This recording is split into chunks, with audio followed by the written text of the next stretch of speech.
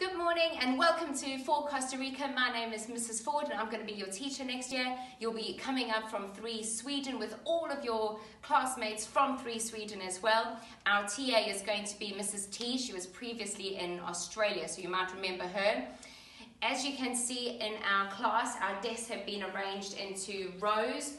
These rows are just to help us distance a little bit more from each other.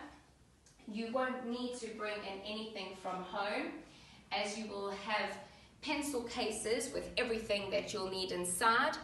You will also be allowed to bring in any fiddle toys or any items to help you concentrate. These can be placed inside your pencil case.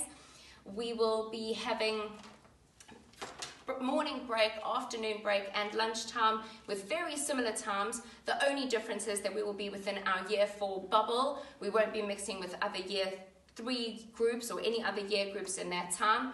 Lunchtime will be within class, you'll be eating, either bringing in your own packed lunch or if you're ordering a school dinner, it will be a lunch that you would be able to eat easily in our own classrooms. There might be some staggered entry times and exit times as you arrive and leave at the end of the day, but all of that will be clarified in a newsletter closer to the time. I hope you have a lovely summer holiday and I look so forward to meeting everybody in September. Bye.